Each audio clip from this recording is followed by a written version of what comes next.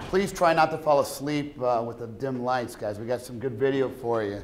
I got to say this again. Good afternoon, everybody. You guys awake? Come on. Good afternoon. I'm sorry, I'm a car guy. When it gets quiet, I get nervous.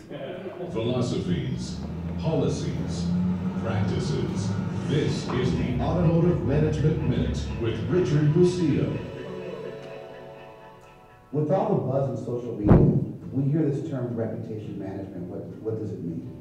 Well, here at Rick we have a simple core philosophy, and that's to treat every customer as if they were your best friend.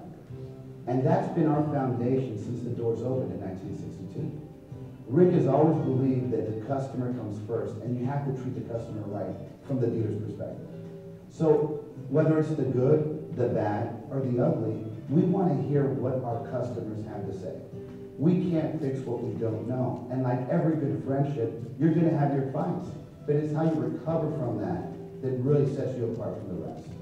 So what we do is we try to provide our guests with a lot of different options so we can get that opinion flowing. So whether it's Dealer DealerRater, Business Radar, Google, Edmunds, Yelp, or any of the online resources that there are, we all realize that it all starts with the people at the dealership. We want to hear what they did good, but more importantly, we want to hear what we didn't do good. We're going to improve on it, and we're going to make sure that the next time they come back, we're going to give them a reason to become a raving fan. We realize that when you convert an unhappy customer to a raving fan, that's much more powerful than any dollar you can spend in advertising. In order to be successful in reputation management, there has to be a culture change in a dealership. And every team member, from myself all the way down, has to be empowered to resolve any situation that comes with the customer. And if they can't, they have to take it to the next person up to make sure it gets handled. In short, reputation management starts at the dealership. Create the culture, empower your people to fix any problem, and make sure you listen to your customers' voices. So, guys, um, that's just a quick video on what we do at Rick Case and how we feel about reputation management. For, but for you to truly understand how we handle reputation management, you need to get a little bit of perspective on Rick Case. And, you know, we're a store just like everybody else. We're a small little store in Davie, Florida. We, uh, we have uh, about 200,000 square feet of space in that facility. And we have a beautiful parking deck. We have a free car wash for all our customers. We have a discounted gas station. We have a, a, a hair salon to get your hair cut. You can uh, renew your tag. You can get married at our store. We have at least 50 weddings every single month. And uh, you can service your car. We have a body shop. And of course, sometimes people even want to buy cars at Rick Case. So it's, it's really a nice little place. And we're very proud of some of the things we've been able to accomplish. We've been the number one Honda store in Florida since Rick opened the store in 2002. In addition, we've been the number one Honda store in the Southeast since 2002 as well. And uh, since 08, we've been the number one Honda net profit store in the United States.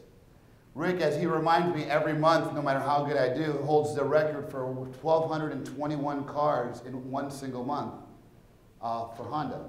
I mean, that's a lot of cars. And, you know, we can't do any of this without a great team. And that great team Uh, you know, is in every single department, is every employee from the person that cleans the floor to the porters, all the way up the ladder. And because we have such a, great team, we've been able to do great things with customer service, like hit the President's Award for four years consecutive, working on our fifth. For those of you that are Honda stores, you know these scores. You know, 99.8 out of 10 customers are happy with Rick Case and sales. 92.1 in rapid response and 96.8. All fantastic, all above standard. Our, we, we, our core philosophy is to treat our customers like they're our best friends. And this isn't just something we say, this is something we do with every single customer. Whether it's me or any of my managers, even my salespeople, they understand that if there's a problem, it's going to get fixed. Currently, in the Southeast, we're number one, and that's fantastic. And through our efforts, we were even able to accomplish number one in the country in the month of June, and we were very proud of that fact. Um, and we did it with good customer service. And we employed a lot of reputation management techniques to get there, which I'm going to share with you a little bit later. The problem with Rick Case, and, and the problem we had, when we were looking at this whole reputation management and how it worked was, you know, we had a great reputation. Everybody knew who Rick Case was. We spent hundreds of thousands of dollars on TV to say we got the best prices, the best warranty. We have a 10-year, 100,000 mile warranty, five-year roadside assistance, discounted gas, free car washes for life, discounts on all your service and parts and accessories. I mean, we had a unique buying proposition that everybody knew. You turn on the radio, you'd hear us on the radio. You turn on the TV, you'd hear us on the TV. And then what happened is you go to the internet, and this is what you see. A nice little shack. You Google Rick Case, and you would find every negative review known to mankind. I didn't know there were that many unhappy people in Broward County. And all of them were motivated enough to put reviews about Rick Case. And we quickly, we quickly found that when we started a deep dive, we had outdated posts. We had negative content everywhere. We had pissed off customers at rickcase.com. I mean, people created websites about us. But yet we're 98.2% in CSI. So that point two was making a bigger noise on the digital space than the nine people on the regular space. We had absolutely no, no substance. We had lack of response on any problem because I didn't know we had problems. Because we were pretty ignorant to the fact that we had no consistent social media strategy. We used to think that reputation management and social media was just another venue to put good ads on there with great product to try to sell cars. That's what we thought. Fortunately, we went to several conferences like this one where we got some great ideas, we educated ourselves, and we kind of changed our little process a little bit. So this is what would happen. You know, we'd spend several hundred thousand dollars on TV, not a cheap medium, but we use it because in our market we have to. And people would see these great ads and they say, man, Let's go to Google and type in Rick Case. Then they'd type in Rick Case and forget the negative reviews, they'd get my competitors. So when I talk about no digital print, we had zero digital print. It just wasn't acceptable. So whenever we have a problem and we want to fix it, you need to find out what your point A is. And we use at our store what we call a SWOT approach. And that's nothing more than looking at your strengths, understanding your weaknesses, fo focusing on, on your opportunities, and realizing what your threats are in the market, because believe me, there are many. And we had some great strengths. We had a large database, over 100,000 customers in our database. Rick did a phenomenal job marketing and got plenty of customers in. We had a great real world reputation. If you know about Rick Case, you know he's a good person. He cares about the community, he cares about the people. And in the real world, everybody knew about it. The problem is, I mean, I don't know if you guys saw Grant's presentation this morning. We went to dinner last night, and he wasn't too happy with the sushi restaurant. I don't know if you've seen how many negative videos and reviews he's posted already on that restaurant. I can only imagine someone coming into Aria and saying, man, what's a good place? Guarantee you they're not going to go eat sushi. So we'll pay, you know, we'll pay, you know, we, we don't want to pay attention to the reviews, but have you ever read a negative review and gone to a restaurant? I mean, I don't. When my wife says, hey, I want to go eat Italian, I'm like, okay, where do you want to go? Oh, I want to go to this place down on South Beach. All right, let's take a look at it. You look up at the reviews, if the reviews are bad, you're just not going. So here's a restaurant. We're talking about a car dealership, and we had no strategy. We had a great facility, and at our facility, we have over a thousand customers that come in every day. Now, they may be coming to get a haircut, they may be coming to get married, but they're coming in, and it's a great, it was a great opportunity for us. We had 400 quality employees. And we all know the power of the employee. They work for us, they work with us, they're part of our team, they want us to be successful. We had our unique buying proposition, our Rick Case Rewards, and we had an in-house video company that produced several videos, some of which we'll show you today. So our weaknesses were, we didn't know what the hell we were doing. We did not understand what reputation management was and what, so, what a social media strategy was. It all sounded great, we had no reliable vendor partners, and we weren't consistent in anything we were doing. Like, we thought that reputation management was, okay, we need surveys. Okay, what do we need surveys on? We need surveys on Google. Okay, everybody, tell your customers you need surveys on Google. We'd go to Google, everybody would try to get surveys on Google, and then we'd get them up, and two days later, Google would take them off. It just didn't work. We didn't get it. And there were great opportunities. We, were, we knew that we could leverage our production company to really create that positive content and get that on the digital space so people could see who we really were. We knew that if we took advantage of the technologies that are out there with some of the vendors that are here today, that we could really turn it around. And we wanted to leverage all of our employees' relationships in the social space. People buy from friends. We wanted to be everybody's friend. But we did have some threats. The negative content on the social sites dominated the Google space. We had a very small digital signature. I'd say it was non-existent. I think if you type Rick Case Honda, I think our website page was like at the bottom of page one. It was crazy. We had dated product. I mean, the Honda Accord was on the last year of its model cycle. Thank God the new one's coming out on the 15th, and it's gorgeous, guys. If you haven't seen it, take a look at it. It is phenomenal. The Civic, we didn't have the launch we wanted with the Civic. Honda wasn't happy. Our product was not hot. Everybody was talking about Hyundai, Kia, and everything else. And Honda, who had always been at the forefront, wasn't there anymore. To top it off, my wonderful entrepreneurial boss decided he wanted to open up an open point for the largest Volkswagen dealership right next door to mine. Not exactly something I was really looking forward to compete against. So we knew we had to get started, and we had to get started right away. So Rick Case's reviews, like I said, sucked. It didn't matter whether he went to Google, Facebook, Yelp, wherever it was, it just wasn't, it, it wasn't good. And it just wasn't, it wasn't acceptable. So when we looked at that, we thought about what is a review? And a review is a customer expressing how they feel. Would you guys agree with that? Now let's talk about, you can't fix how they feel, but you can sure as heck look back what precedes a review. And what precedes a review is an expression. A customer wanting to express themselves for an experience they had.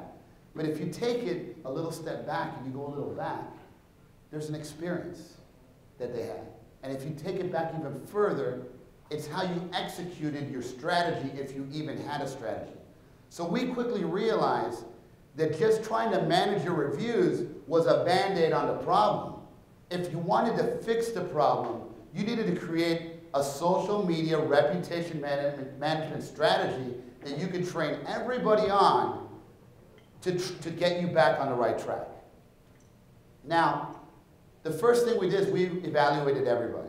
Because those who think that you can just go into one site and fix your reputation, guys, it's not going to work. It's not a Google, it's not a Facebook, it's not a Yelp, it's not a Business Radar, it's not a DealerRater. It's not any of the 25 review sites that are out there. It's all of the sites. And the problem is, we don't know which ones are going to pop up because Google's constantly changing the rules to the game. So we need to get good at all of the sites. And the only way you can do that is by drilling down on a strategy, knowing what you're going to do, how you're going to do it, delivering a world-class experience so your customers become raving fans and express how they feel. So what were the customers saying? We evaluated everything. We wanted to know what was good. We wanted to know what was bad. We definitely wanted to know what was bad because through the bad is where you can grow. We wanted to know what they were posting. We wanted to know how visible was that negative content. So what we did is we worked with several companies to get some dashboards that could pull all that data for us so we knew where we had to work on and what we had to work on. And it worked great, guys. We immediately identified where our opportunities were and we started to work on it. And we created a strategy. So once we knew what we were going to do and how we were going to do it, then it was just simple. We knew that we had to increase our visibility of positive content. Duh, right? No brainer. Well, how were we going to do it? We knew that we had a video company. So let's start to post positive content on Facebook that people are interested in seeing, on Google, on YouTube, and let's get it out everywhere. So we wanted to leverage our dealership.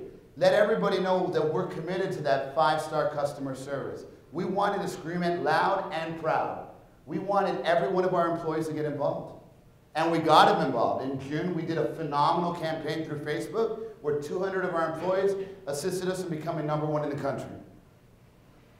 And we definitely wanted to leverage our customers. Not just 100,000 that we have in our database, but the 1,000 that we have coming in every single day. We wanted our friends and followers to want to become part of our society.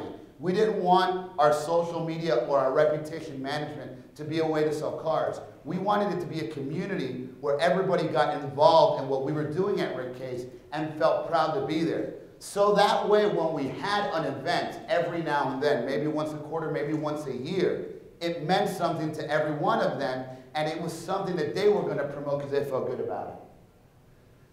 We looked at Facebook, and these are some pretty good examples. With Facebook, this is a customer. This is one of my salespeople, Sharon. She's my finance secretary.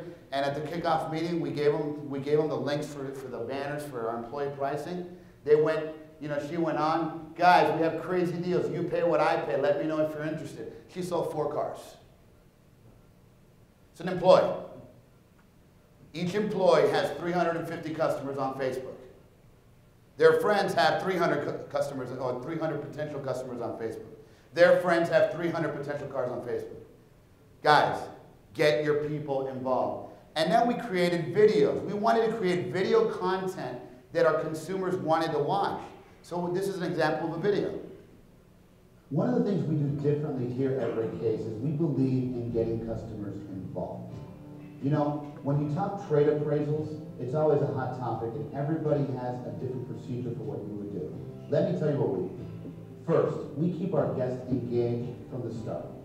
Everyone's always wondering where that mystery appraiser is, what they're doing, how they're figuring out what they're doing and how they're getting the numbers. We get the guest involved. We have the salesperson take the guest to the appraiser. Let the customer see what the appraiser's doing. Let them see and let the appraiser interact with them and ask questions on maybe any dents, scratches, accidents, or noises that we might find in the vehicle. You'd be surprised. The customers might evaluate their car or they might give us a reason why to give them more of the car. But the bottom line is, you want to keep the customer engaged and you want them to know there's nothing you're hiding. When you're back in the showroom with a guest, you want to show them the information and back it up with hard facts. Now you already went outside with them, they saw the vehicle, they know what you were looking at in the vehicle. Now when you bring up the appraisal, show them what it's going to cost, the reconditioning that you're going to have to put in to make it right for someone else to buy this car. People are fair, and if you're honest with them, they'll be honest with you. And finally, Give your customers credit. They've shopped around. They have an idea of what they feel their car is worth. Whatever system you use, they all have tools that show you what the cars are selling for in the market. Share that with your customers. If you're fair with them, they'll be fair with you. So when we posted that video, we got immediately within the first day over 500 views. These were customers that now were calling us saying, wow, do you guys really do that? Well, when you say you're going to do something, you definitely got to back it up, guys. And we did, and the customers loved it. And then what happened is we pushed this to everybody. So we didn't just put, leave this on our site.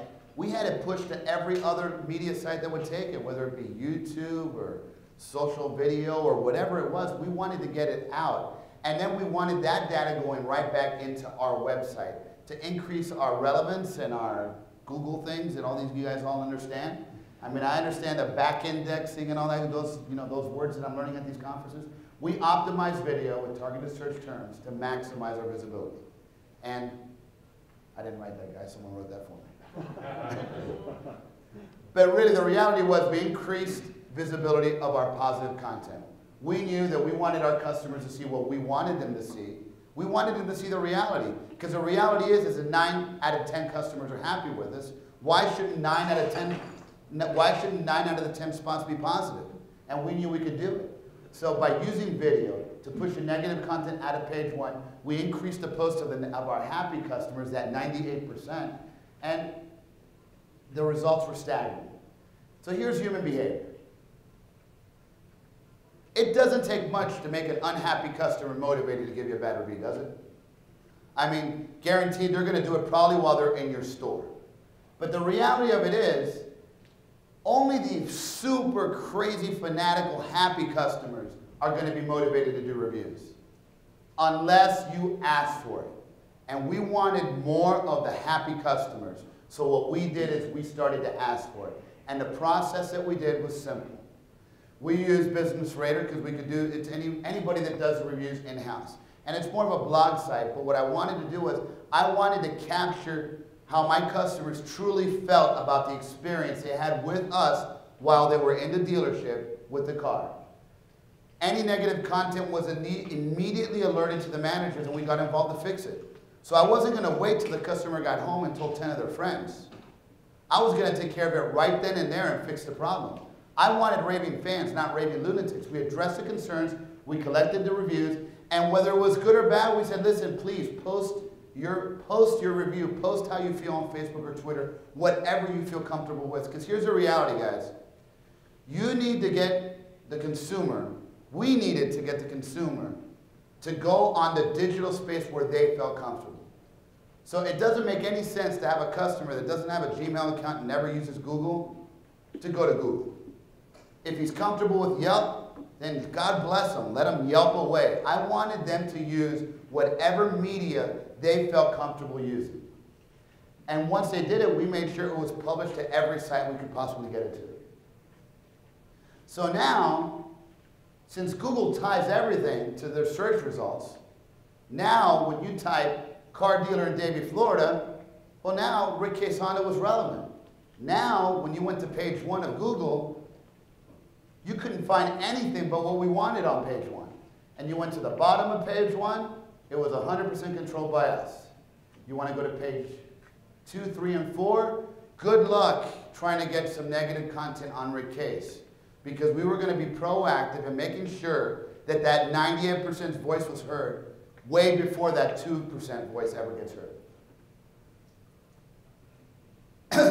so to recap our strategy, we used increased posts with our happy customers. We used our video and social content to push everything off of page one. We decrease the negative content. We, we use trust by involving our customers in the process.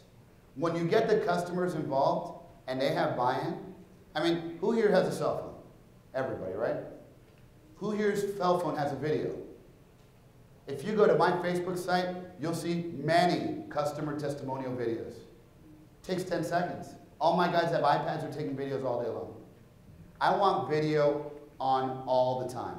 We put it in Facebook, we put it on the internet. We want people knowing how our customers really feel. If we're going to sell 800 cars a month and five people are going to be unhappy because unfortunately it's going to happen, then I want at least 700 of them being way happy. If you address it early, you can fix the issue. And like the video on the training, we use customer video content that they felt comfortable, stuff that they wanted to see. We took polls. Some customers, you know, we've done body shop videos that they don't know that they can use different insurance companies. We use the trade-in process so customers understand that they can trade in a lease vehicle, that we're going to be with them the whole step of the way, that we're going to educate them, that we're not trying to hide anything. We want them to be part of it. I mean, it's crazy. They go with the appraiser. The appraiser goes in the car. The appraiser hears a rattle. He says, oh, what's the rattle? I have been meaning to get that fixed.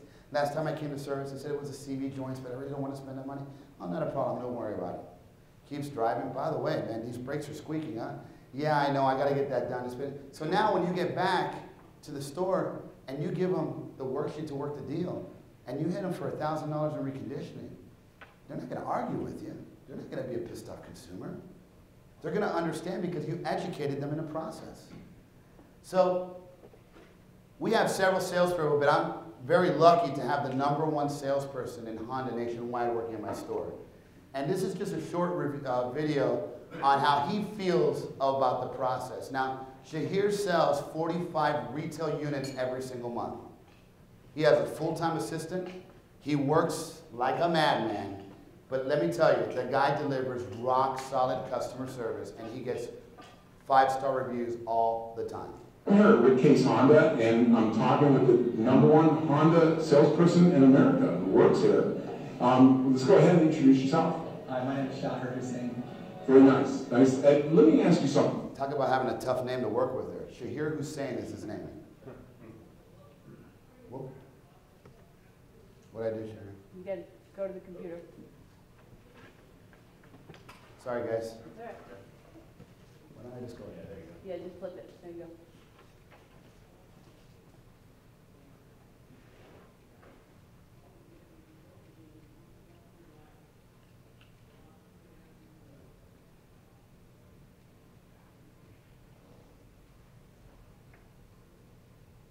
Man, this is the wrong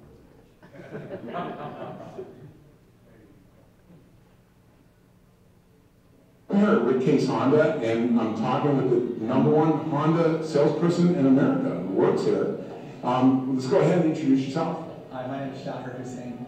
Very nice. Nice. Uh, let me ask you something. As a, I've sold cars a, a long time as well, and when the dealership came to you and asked you to start getting your customers to fill out reviews at the end of the sales process, uh, what, what is your motivation to actually get the customers to do the reviews? I mean, why would you do this?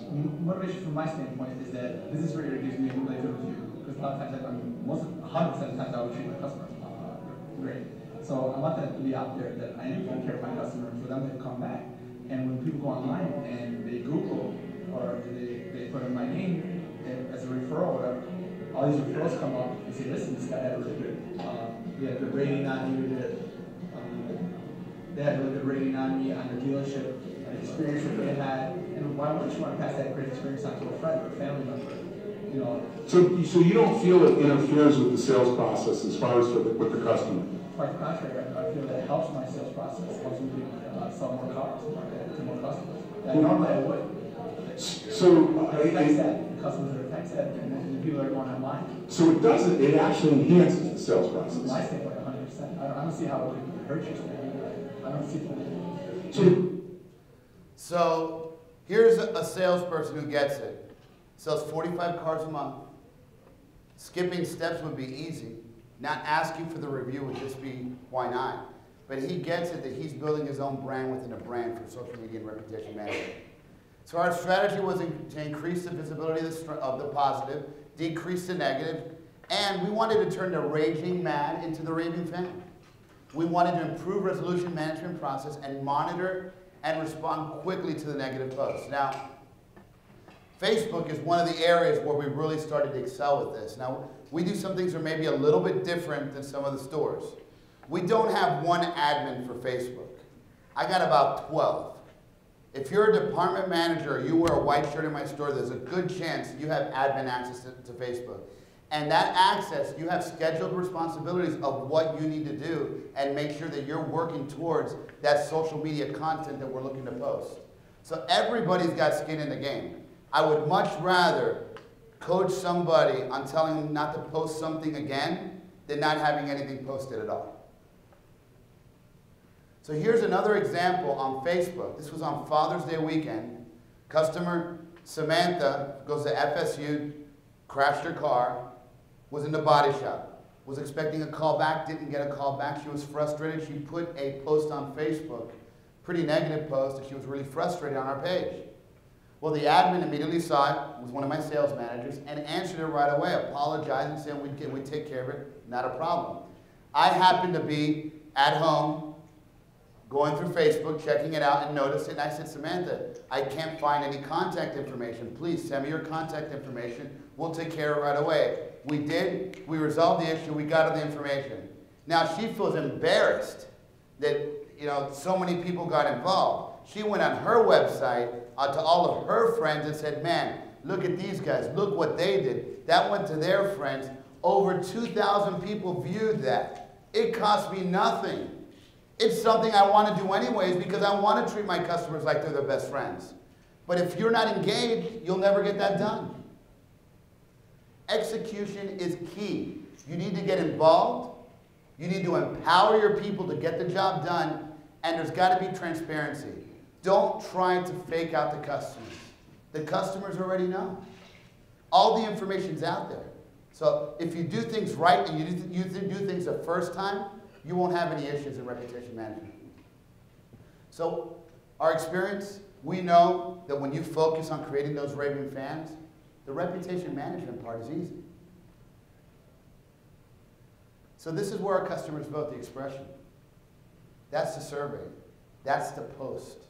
But there's a whole lot of things that have to happen before that ever gets put online. If we take the time to think about what precedes the post and work on a strategy and executing that strategy, then you don't got to worry about reputation management. It's just the way we're going to run our dealerships. So here are the takeaways. Use the videos and social sites to increase your digital footprint. Make online customers aware of your advantages. Guys, video is king. Get it up, get it out there. People want to see it. Create processes around reducing and preventing negative content. That's a no-brainer. You don't want unhappy customers. It's not good for business.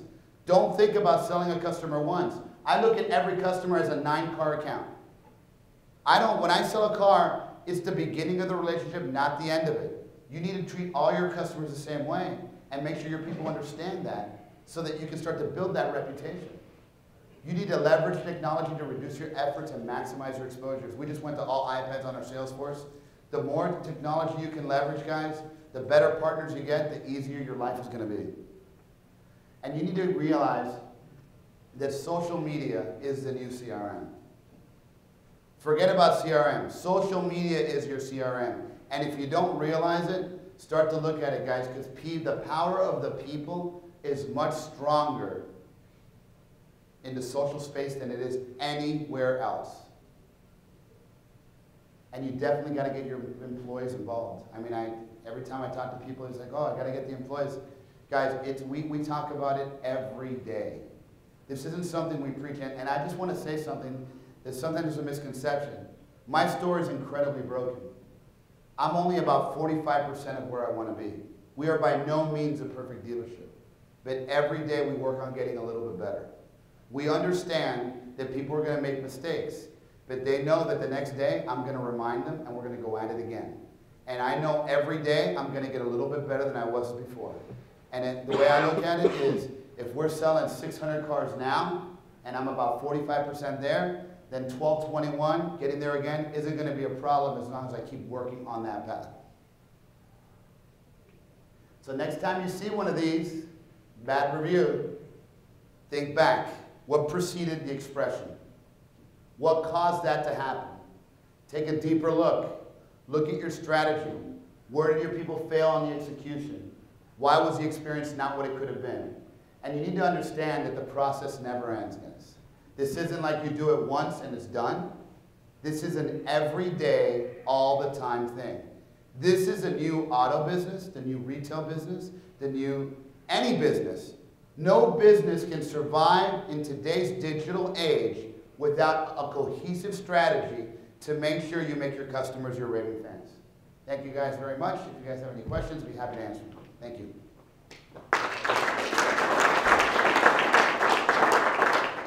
How did you get, you got half your, uh, your staff, two hundred people involved in Facebook. What was, what was the, uh? So, so what we, you do that? so what we did is every month at the beginning of the month, we have a kickoff meeting with all our employees. We buy them lunch, we get everybody upstairs for like, in fact, it's today. In fact, this is the first kickoff meeting that I don't attend this year. So all my staff gets together and we, you know, we congratulate our employees of the month. We talk about the things we did right. We talk about what we're trying to do. What we did this time is we, we, we, we told all our employees that we were launching employee pricing for the first time in 50 years at Rick Case. And we were going to put out a bonus program for our employees. And we created digital links to Facebook. And the way they got the link is they emailed me that they wanted the link. So my assistant emailed 200 people out of my 420, 200 people that wanted the link, we sent them the link. And then they said, what do you do? I said, well, listen, you post it on Facebook and put like a really cool comment about what we're doing. And if the customers come in, because of you, you're gonna get, in your regular bird dog, it's gonna be double. So we gave them a real incentive to do it.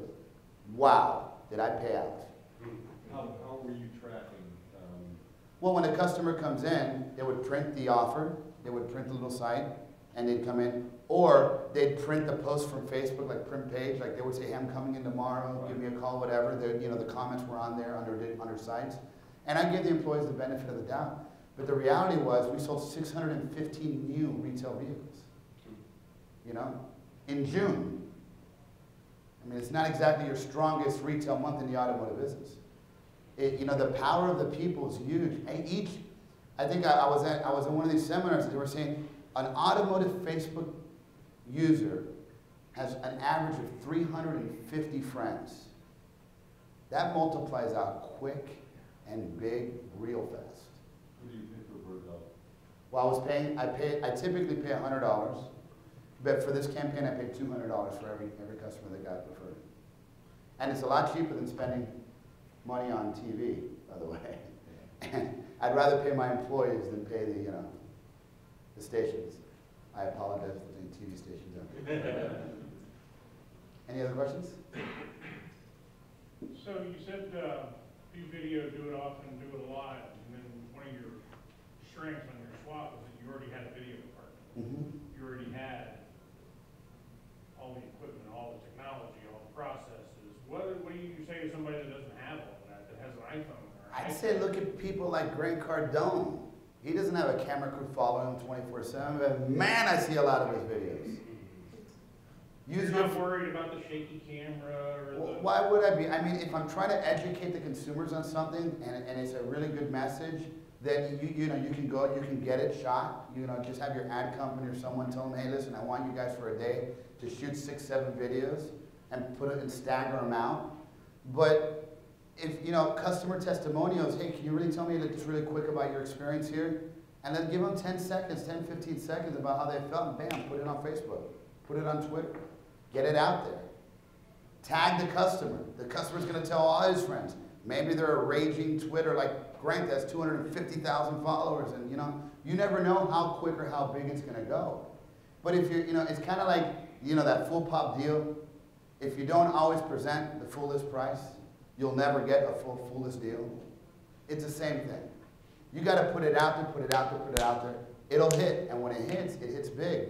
And we've had some videos that have gone, you know, you pretty viral. sign something saying that you're allowed to post their, because I know that's a big concern, people is. Well, I bet. Get well, their picture and you put it on Facebook, Well- and they didn't authorize it, and blah, blah, blah. Typically, the way we do it is like, you know, hey Chip, how are you, man? Can, could you mind giving us a quick video? We want to put it on Facebook. We'll tag you on it so you can show your friends. I haven't had one problem. Okay. I mean, So it, Clearly, I mean. it, I mean, it could be a problem. I mean, I don't know. I haven't had it. I don't know if anyone's had that problem, but I mean, I apologize if you mentioned this in your presentation, but do you do reviews, do you ask people to do reviews in-house? we do. Um, we asked him to do our business rater reviews in-house. And let me just go a little deeper into that. Why just business rate? Well, Business Radar does it in-house, first of all. I don't want every, see, people like Google have the, you know, they, they- they think you're cheating all the time. So if, if reviews are happening at Rick Case, then all the work that I've done to get real content on there will be for nothing. So we use Business Radar, which is a blog site. They fill out a review of how the experience was, so we can fix a real problem that happened right there in the store.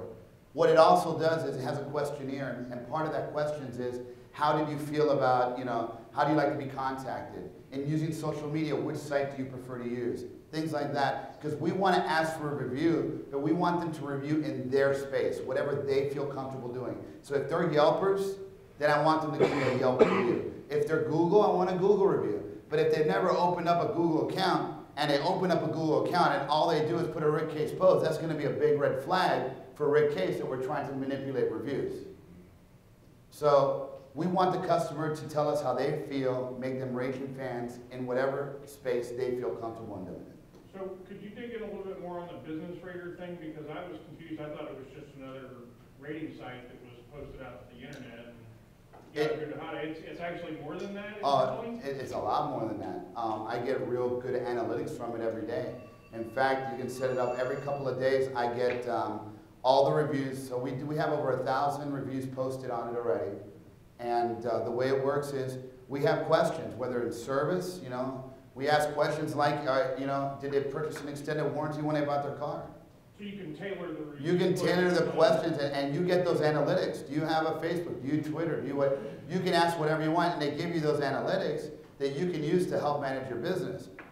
Yes. So you're surveying the customers first to find out what their experience was like, what they're interested in, and then you ask them for a review. So you're not constantly asking, here, write a review here, write a review No, no. The way the way it works is, guys, you, you know, while while I'm getting your car cleaned up, you're getting ready to go into finance. You always have about 25 minutes. All my guys have iPads. These guys, they understand. My salespeople understand that whenever a review gets put on Business Radar in their name, it goes to Google. So when you search their name, now they have reviews. So they want to build their own personal portfolio because that's something that nobody can take away from them. So we sell them on that. We teach them. We educate them on that. So now they said, do you mind filling this out before you go into finance? If the customer's frustrated and they say, man, this is this process is taking way too long. They lied to me about the price of the salesman told me he was gonna, because it happens. Bam, every manager gets a text immediately. Whoa, someone's unhappy. Manager's engaged. I can't afford to get a bad survey. I want to, you know, I'm trying to make ra- raving fans. You know, Honda's standards for President's Award are incredibly high. I'd rather not sell a car if the customer's unhappy.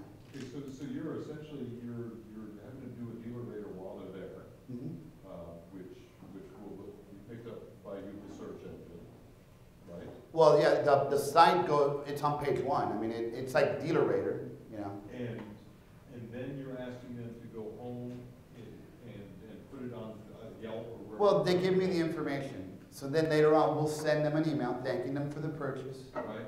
And we'll ask them if they would be so kind to take the time. Did they notice, we noticed, you, you know, in the, in the survey, they said that they're, you know, they use Yelp or they use Google, whatever it is, if they'll go ahead and fill out a survey for us. And some will, some won't. But, you know, when you're talking about a thousand, you're talking about six hundred customers a month. You're talking about four thousand ROs a month. If one percent does it, I'm good. I'm good. I don't need a hundred reviews. I need four or five per site. So that I get consistent content up there on a regular basis. We're really trying to do the right thing. I just want everybody on the digital space to see the same thing we're doing on the store. How, how long is your initial survey? Ten questions? Six questions, Six questions. just quick. You mind telling us what they are? Um, if I knew them off the top of my head, we'd change them a lot, so. But if you get with me after you give me your card, I'd be happy to send you the information. Or I think Dan Wick is here from Business Radar, he'll, he knows them by heart. That's crazy. So it's that easy to change them, it's that easy to tweak it. Absolutely. It, it depends on what you want to find out and what you're working on. Now, you know, we get reviews at, on Business Radar from our hair salon, from our, from our car wash, from everything. So, I mean, we get some bad reviews. The car wash is taking too long. There's not enough soap in the car wash. Isn't, I mean, it's great. We fix it, you know. The whole purpose is I want to know the good and the bad. I don't just want good reviews. I want real reviews so that I can fix whatever issues were happening. Do you have a process in place to drive reviews from your fixed operations as well? Absolutely. What's that look like? When the when the customer comes in, when they come to pick up their car in the active delivery, we have computers set up right there, and we ask them if they would be so kind to fill, to take just thirty seconds or forty-five seconds to fill out a quick review. Because Honda's got some crazy questions on their service, like fairness of charges. You know, like, who thinks that their charges are fair? You know, so I want to try to educate them on becoming raving fans. I want them to know that we're striving for five-star service. And, you know, I, I'm trying to outweigh the good. If I overwhelm them with good, then I can minimize my bad. All right, guys, thank you very much. I really appreciate all your time.